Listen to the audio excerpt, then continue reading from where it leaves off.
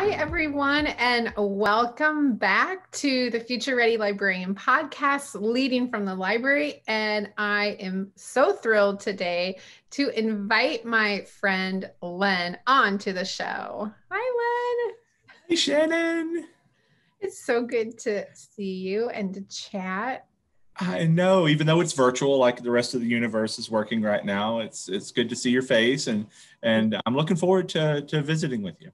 Yeah, I am so excited. And Len, first start out maybe by just introducing yourself and telling a little bit too, not about your um, just about your current job, but your your background too.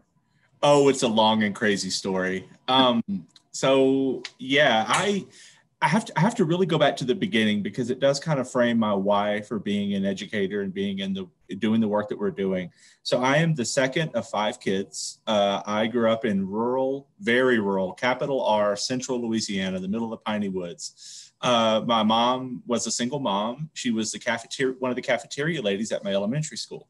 Uh, so we grew up very, you know, very poor, you know, uh, you know, very country. I like to call it country with a K.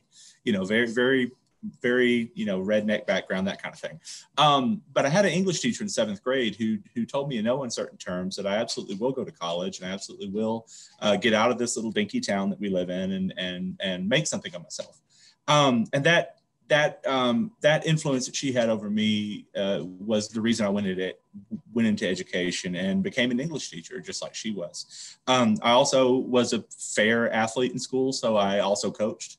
At the same time, I enjoyed you know participating in athletics, so I wanted to be an athletics coach as well. Uh, so I've coached fast basketball, volleyball, track, cross country, a little bit of softball, kind of everything. Mostly girls, uh, mostly girls athletics throughout my career. So I did that for about ten years. Uh, I moved around a couple of times. I met my future wife, and she told me I had to go to Texas, so I did. Uh, she she also told me things in no uncertain terms. Um, so I went to Texas, and uh, we kind of bounced around a little bit as 20 somethings tend to do. Uh, I landed in a great district in Round Rock outside of Austin. And I was teaching and coaching there for a couple of years. And I, in Texas, uh, standardized testing, um, I've I apologize on behalf of Texas to the rest of the country because standardized test, testing kind of began there, you know, the high stakes stuff. Um, I was in the midst of all that, teaching seventh grade English, which was reading and writing. And we, my kids got to take two high stakes t- standardized tests. Uh, and that started to wear on me a little bit. I got pretty tired of teaching to the test. I really wanted to connect with kids in a different way. And every principal I've ever worked with said, Oh, you ought to become an administrator. You ought to become an assistant principal and the principal. You'd be so good at it. And I took a look at the work that they do and the, and the demands that are placed upon them and, and the stress level and the hours that they spent. And I was just like, No, I don't think this is what I want to do. And at that time, ALA was doing this push to, to um, bring younger teachers into librarianship uh, because of the graying of the profession. We had a lot of librarians who were retiring or nearing retirement age. And I had an amazing librarian uh, that I worked with at Noel Grisham Middle School. Shout out to the Grizzlies, who um, was the best librarian I'd ever worked with. She was the only one who uh, I actually saw teach. Uh, she was the only one who had collaborated with teachers and brought in students to the library to teach them uh, in do research and that sort of thing. So she sends out this email um, just as I was having this kind of career crisis, and and you know one of the lines was you know do you find yourself compulsively uh, rearranging your friends' coffee table books? I'm like yeah I kind of do that. You know do you love working with kids and love working with technology? I like yeah I love doing all that kind of stuff. That's perfect. So that's how I became a librarian. Uh, I took over for her at that school when she left to open a new school. Uh, I left that school to open a new school myself in the same district. Uh, I after that, I worked for the Texas State Library, Texas Library, uh, State Library and Archives Commission for a couple of years to do their statewide database program. Uh, my wife and I decided we need to pick up and move. So we went to Oregon, where I was a district librarian for a couple of years. Then we had a baby and needed to get closer to the grandparents without going all the way back to Texas. We, we, we found out that we love mountains and we love seasons, and Texas is neither. So we decided to go to Denver, which is how I ended up in Denver Public Schools. So now I work as the um, Library Technical Services Manager uh, in, in DPS, which is awesome. It's a big urban district. We serve almost 100,000 kids. We have about 30 people in our department, uh, ed tech and library services. So I get to work with an amazing team and I get to serve 150 plus campuses and just a, a, a vast variety of uh, types of schools and situations and just be helpful as much as I can to the folks that I work with. So yeah, there's there's my life in a nutshell.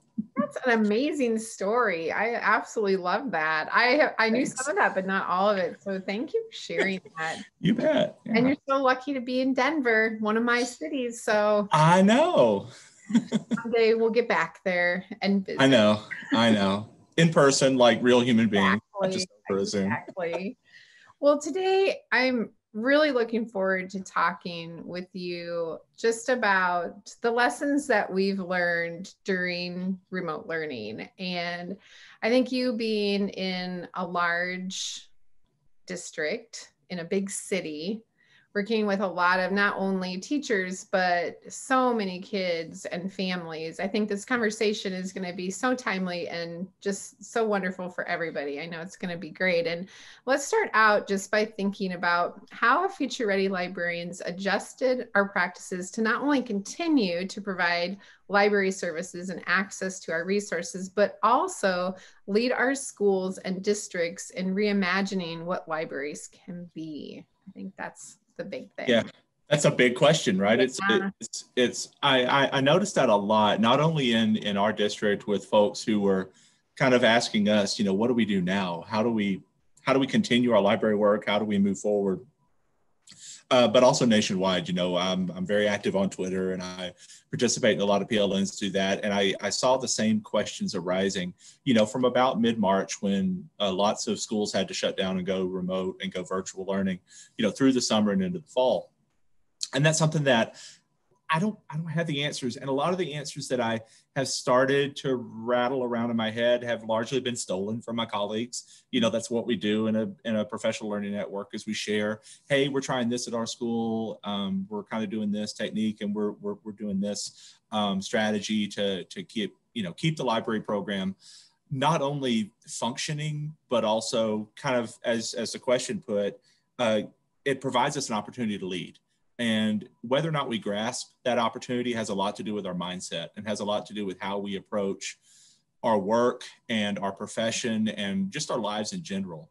And that's something too that I've seen in, in, Denver and across the country is that the people who are solution oriented and are nimble and are able to change gears quickly and change direction quickly and adopt and adapt to you know these crazy changing situations that we live in are the ones who have been most successful they've not only continued to serve our kids and our families they've also stepped into that leadership role by providing a model for others um, one of the things that uh, I knew that I was going to have to do this summer was figure out a way for us to return to a hybrid in person learning situation because at some point the pandemic's going to wind down and we'll have kids back in our buildings and we need to be able to serve those students safely.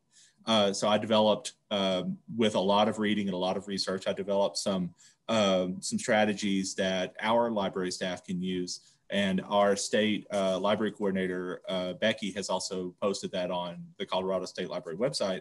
Um, and lots of other you know, districts around the, the state and, and maybe elsewhere, I'm not sure, have adapted and adopted some of those strategies. So I think that's one way we can lead is not only do things differently and do things maybe better, but also share it out. And that's one of the things that, that I feel like school librarians really need to grow into is sharing the good work that we're doing. Um, and I used to say this a lot when I was in Texas and, and presenting at conferences. What's what is your day-to-day job that you just do? Uh, might seem boring to you, but it might be completely revolutionary to somebody else who just hadn't thought of that.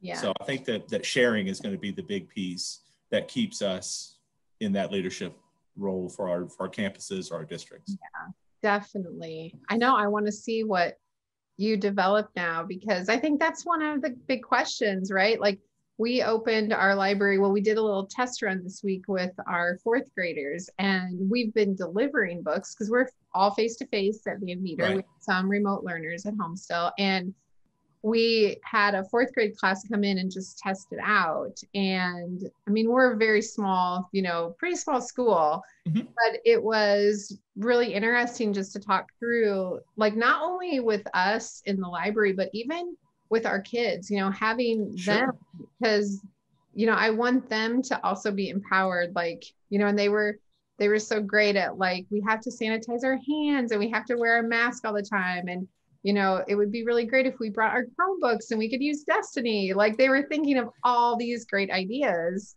And i think that's a big question though is and it's kind of a scary thing to think about. And so that's something that we'll have to make sure we share in the description a link to that so sure. everybody can see that work that you've done.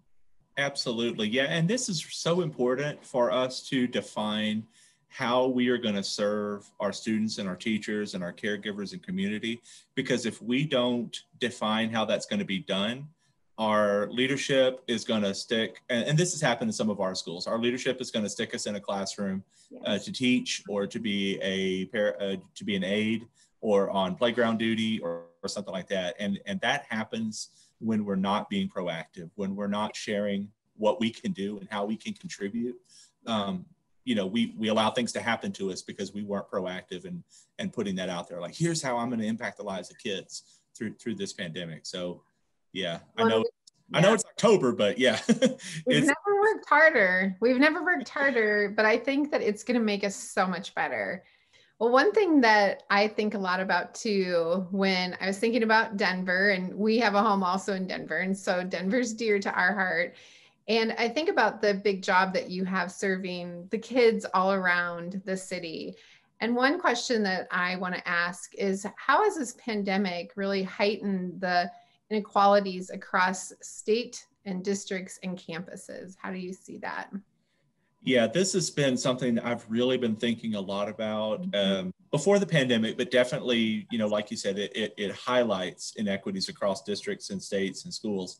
Um, and Denver is no different than any other place. We have our wealthy neighborhoods. We have our kids who are uh, who have lots of support at home, maybe a couple of college educated parents, and you know that sort of thing. And we also have kids that are just living hand to mouth. We have lots of kids who are experiencing homelessness. Yeah. We have lots of kids who are very housing in, unstable and might be mo- moving from place to place. They could be couch surfing. That we have the we run the gamut like lots of large districts do, and in smaller districts as well.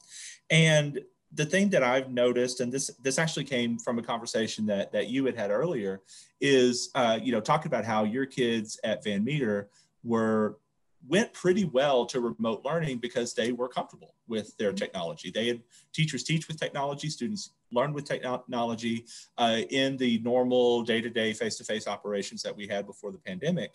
And those schools who had that advantage had a much better time transitioning to virtual and remote learning because you know we we had students and families who couldn't turn their chromebooks on.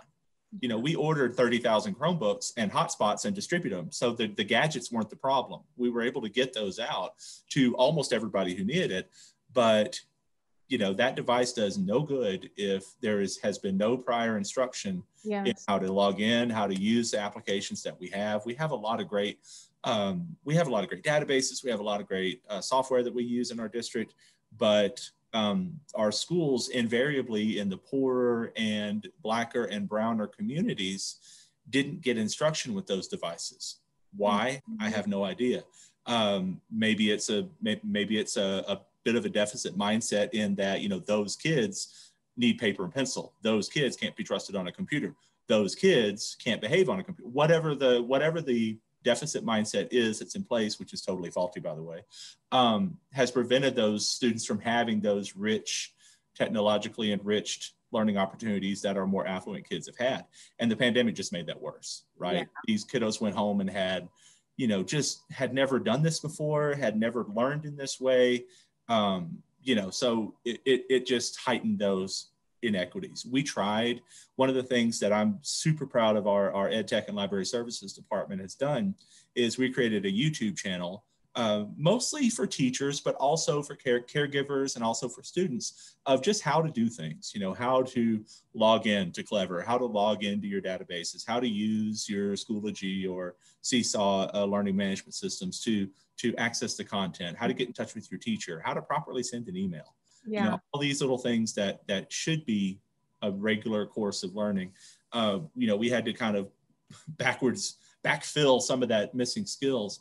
Uh, and our translation department's been great. We have a huge immigrant community in Denver. So mm-hmm. our translation department has translated a lot of the work that, that our team has done into as many different languages as humanly possible so that all of our families have access to that content and can get into uh, the, the virtual and remote learning piece. But again, yeah. had we had we had a more equitable stance ahead of that, we could have avoided a great number of these hurdles that we then had to jump after the pandemic broke out. Yeah. And I don't think Denver is that different from any other district in the country uh, that serves a diverse population. You know, we all have struggles with that. But I think one of the things that I'm really excited about our relatively new superintendent who poor poor Susana has had to deal with two crises. She had a teacher strike and then she had this. So it's just been she's she's never had a chance to catch her breath but but one of her core tenets one of the core tenets of our school board is really having everything we do focused on equity first and mm-hmm. then working out from there. And and i really feel like we're on the cusp of of making some gigantic shifts in the way we do te- teaching and learning.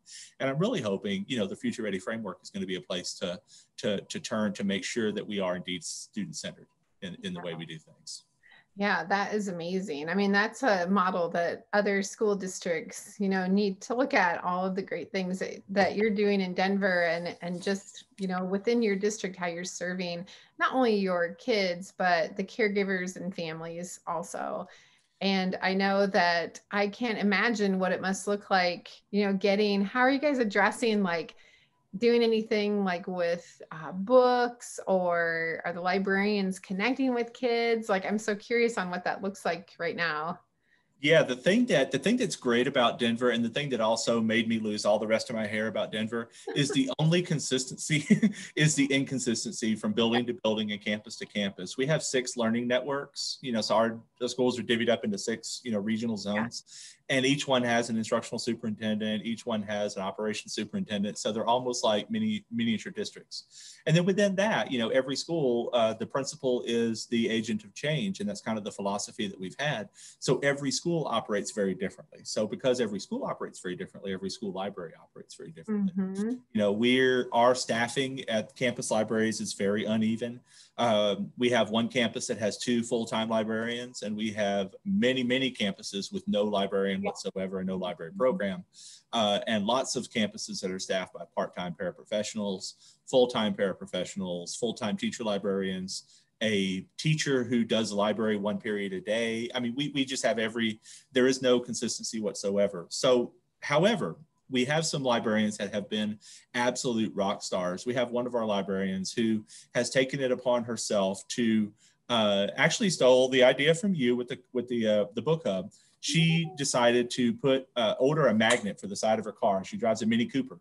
and she has a little uh, bookmobile magnet that she has on the side of her car, and she delivers books that students have requested to their homes.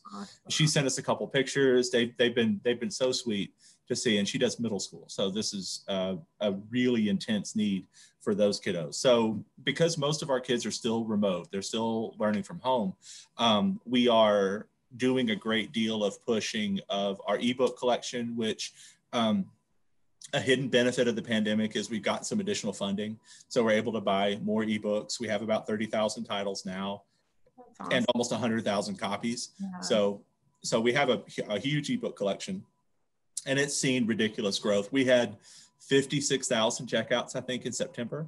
Wow. So um, yeah, yeah, it, it's had it's had huge growth. So we've been able to leverage the gadgets that the kids have at home uh, for them to access our electronic resources. We have several enterprising librarians who are doing curbside pickup. They're doing uh, like Julie at Manual. She's doing the the bookmobile with her Mini Cooper, and I need to send you the pictures. They're really you cute. You have to send me the pictures. Oh yeah, you'll get the pictures. Don't worry. I'm gonna I'm gonna blast. I'm gonna put her on blast. She's gonna see that, and it's gonna be great.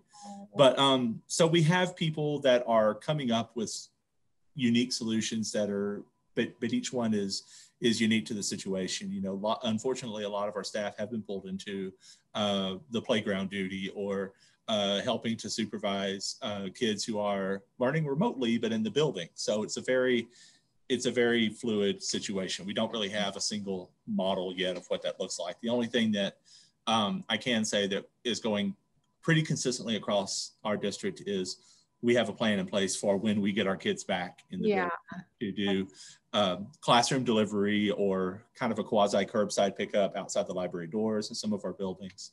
But again, it, it comes down to how many hours the library staff actually has to, to work during the day. I know that's that's a big thing too. We my library associate and I look at each other a lot at the beginning of the day and then at the end of the day and like where did the time go? Like never Yeah. been here. And so you guys are doing really, really, really great work.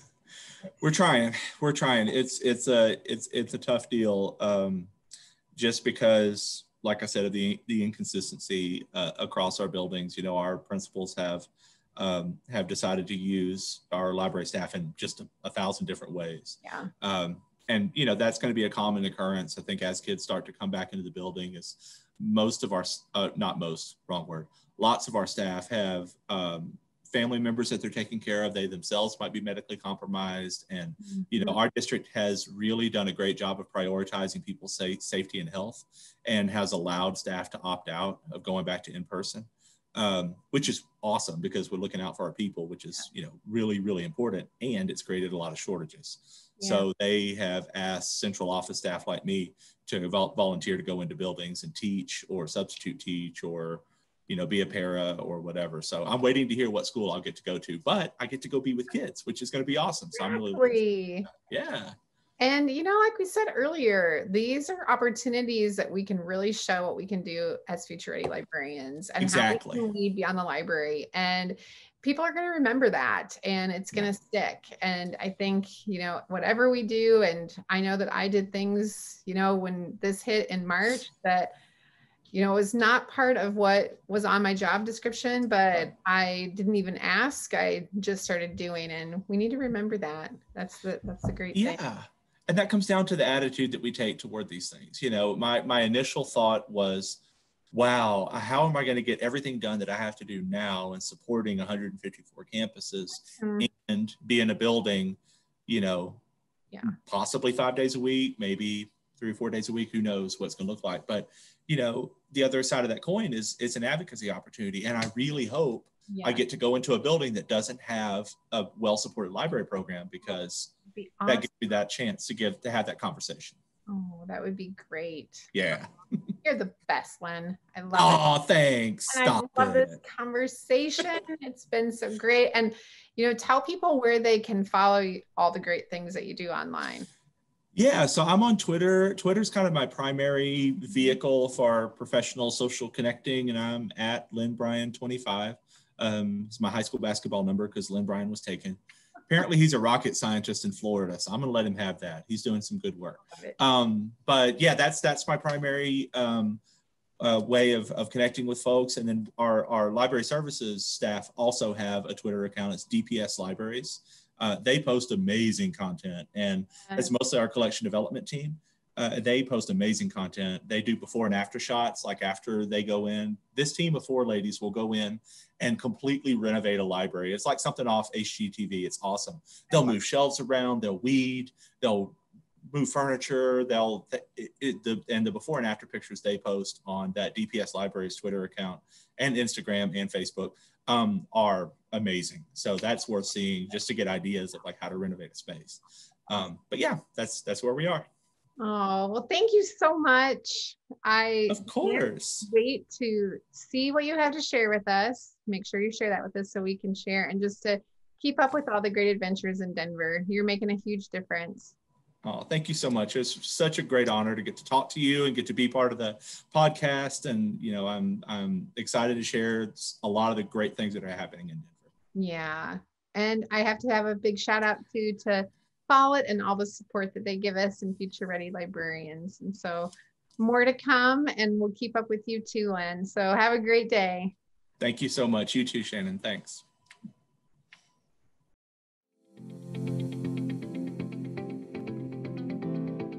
Thank you for joining us for the Future Ready Librarian podcast, Leading from the Library. I would like to also thank our sponsor, Follett Learning, for their amazing continued support.